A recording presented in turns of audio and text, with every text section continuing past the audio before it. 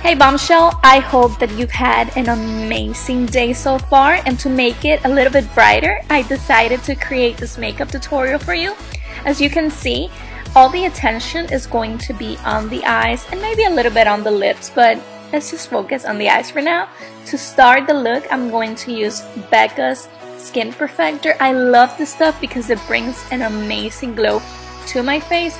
Then I'm gonna go in with Smashbox Photo Finish Primer. I love this stuff because it just balances out the look and it doesn't make your face look oily.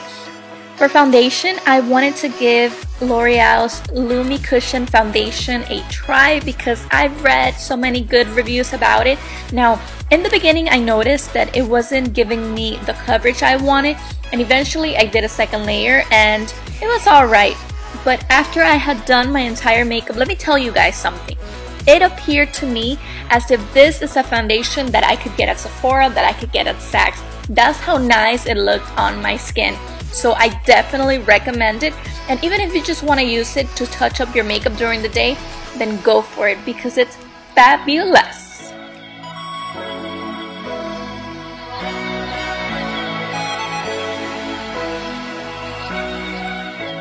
For my brows, I went in with the shade Dreamer in my Tartelette palette. I absolutely loved how it looked. Now, I recommend using eyeshadows, especially if your eyebrows are defined naturally and you have a lot of hair. This is my case.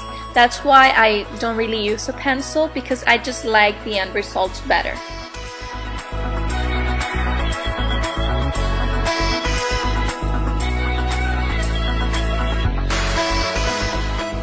As an eyeshadow primer, I am going to go in with a concealer. Now, I recommend this trick if you're just going to wear your makeup during the night. But if you want a result that's going to last throughout the day, then I don't recommend this trick at all.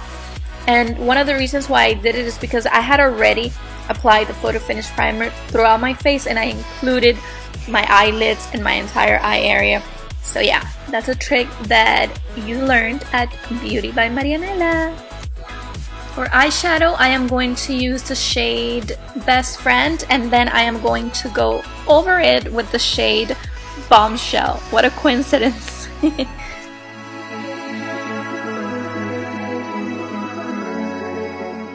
and then on the center of my eye, I am going to use a flat synthetic brush and I'm going to use the shade Free Spirit from this same palette.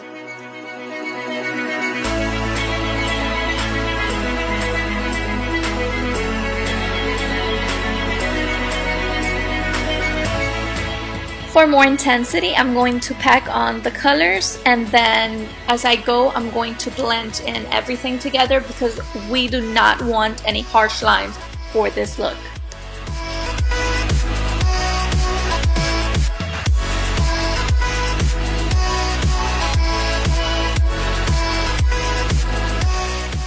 We can't forget about contouring. Now, if you want to see how I contour and highlight using only cream products, this is perfect for people with dry skin.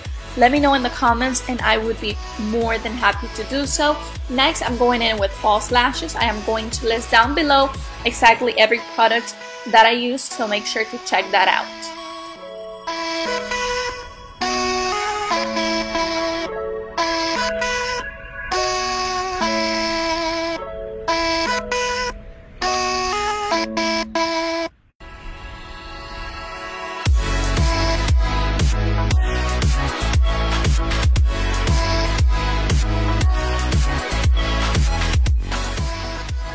To really make my eyes pop, I am going to go in with a white pencil. Now, I didn't really like how my concealer looked when I blended it in with the brush. That's why you're seeing me going in with my ring finger and reapplying the product. And yeah, then I am going to just apply a generous coat of mascara on my bottom lashes.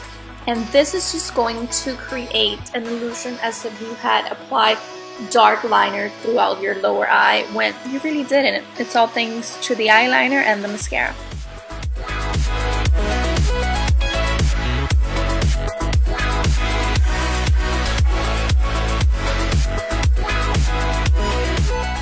Let's course, I had to apply blush. This one is by Chanel. I can't remember the exact name, but I'm going to be listing down below exactly everything that I use.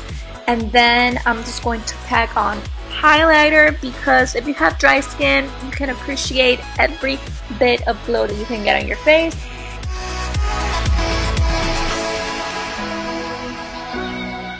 To complete the look, I'm going to line my lips, check my eyelashes so that they're nice, and I'm going to apply a generous coat of lip gloss because I'm a lip gloss kind of girl.